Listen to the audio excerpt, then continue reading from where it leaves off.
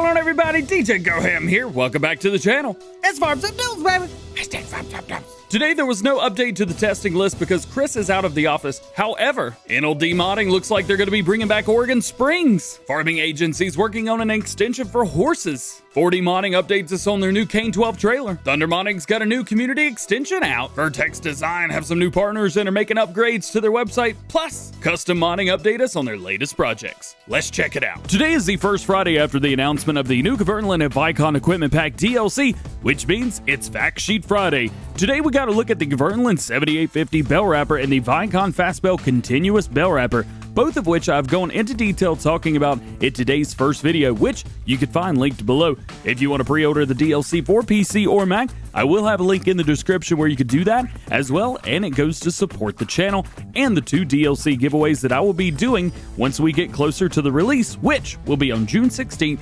2020 the DLC will be for all platforms. NLD farmers posted on their social media sites a picture of Oregon Springs map in game with a stock photo in the background as to tease us. Oregon Springs was one of the more popular American maps in FS17, and I even had a 50 episode series on that map I'm very excited to see them bringing it back to 19. The farming agency released a picture of Maize Plus with a horse icon and logo below it, indicating that we will be seeing a new mod, which is said to be part of the CCM extension that was released a while back for PC players. As you know, in game right now, you can only feed your horses oats, hay, and straw.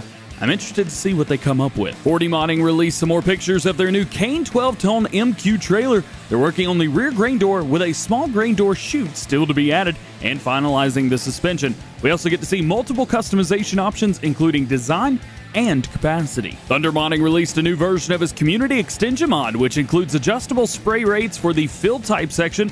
Also, when entering input text mode, the text will now change to yellow. He also put the linked value display under the setting box in green so it can be viewed if the settings is disabled.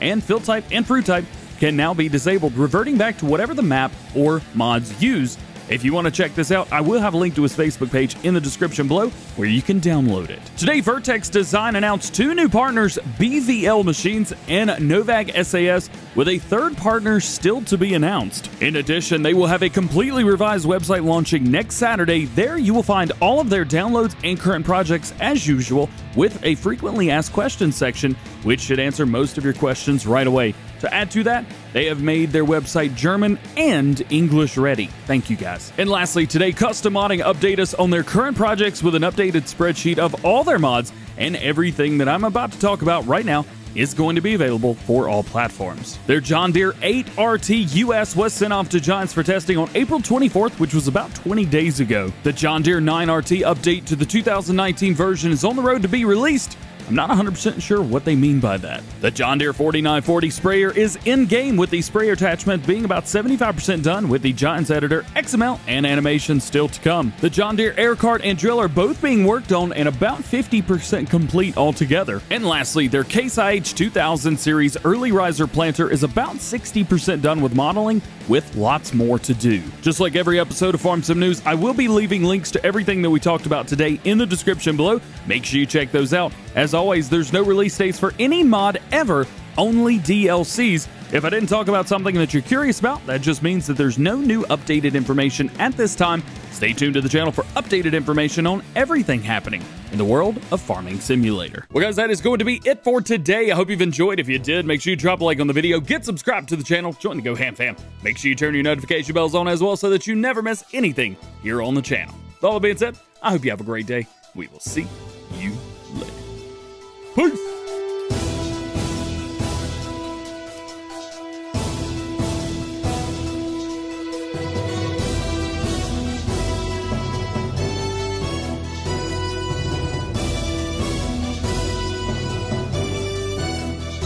I'm not sure if I like doing Farm Sim News right here. What do you guys think?